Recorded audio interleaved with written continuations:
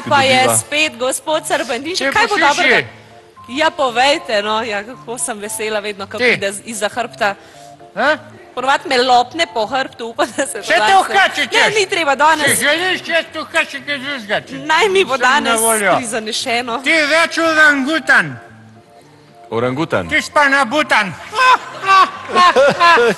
Dobro, ne? Ja, ta pa je, Pa je ta pa je, No, ni daleč. jaz povedal, od da je do resnice. konca, ko sem preh.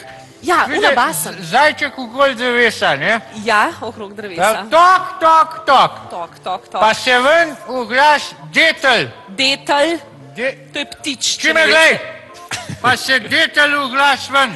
Ja, Ja, in pa prav detelj, kdo je? Vola dol upije, kdo je? Pa prav zajček, jaz sem zajček, odpre. Pa prav detelj, ne morem odpreti, ker smo delali iz babe snil. Ti, da ne odpretem, jaz nekaj povedal. ja, ta je obscen. A? Ta basen je Dej, dej, dej, ne obscena. pove, no, ker mene, mene pa začne zanimati. Ne, eh, ni primerna za otroke, imam občutek. Ne? Ja, kdaj pa je tole ne spovede? Ja, še kar zgodaj, prezgodaj. Ja. Ja, Ja, torej, eh, ja zdaj sem že povedal, no, Torej, ja. do konca No, pa povedal. kaj. povejte. No, Kam še bom. bak? A? kamor šubek naj No, greš? ne me preklinaš skozi, Seveda, no, da seveda. A ti doma tudi taka, kako taka se kot moja baba, skozi. Hujša, hujša, znate. No. Izvolite, gospod, Mislim, da si bolj prijetna, pa vidim, da sem glih tam. tole je bolj Ja. kul. Torej, kaj je rekel pol No, ta da si se zmedu, no. Ja, pa daj jo malo več sprav, no. On Ja, bo skedeca mene ni. Ja, kaj ne je, saj Ja. človek kdaj No, obupa, ne? to pa prav. Detelj, dobro je, bom pa odprl. Ja. Pa zdaj, če ga ti avš res odprl. Prav, bom pa odprl. Ali pa od te drug.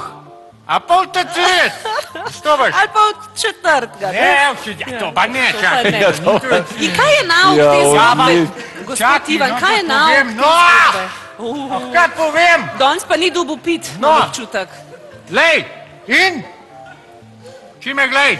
Ja. In pride dol, detelj dol. Čak, dajte pa hrbet kažem. Ja. Tega pa te. Jaz vas pa oči gledam. Pa kola stopil. Ja. Če me glej. No, in pride dol, pa prav zajček, a ti veš, odkot pride beseda basen? Ja. Pa prav, ja, ne vem, pa prav tam jaz povedal. Ja. Prav, je šel medved zjutraj na basan dam. Pa prav, detelj, a ne me basat. A to je to, Ja, ja, to je to. Hvala, Ivan. O, Hvala, ja, Ivan. odlično, tole, ne? ja, Hvala, fajn, za, hvala za ta fajn. doprinos k naši Tole smo še oddaji. čakali, dragi slovenci. Tole je bila oddaja na zdravje obasnih. Večkrat jih vzemite v roke, prebirajte Tako, ne? jih sebi, otrokom, Čime drugim. glej.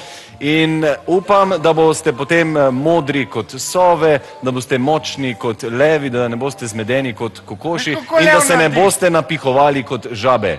Kako naredi? Lev naredi. Kako levo. Ja. Srečno! Dio.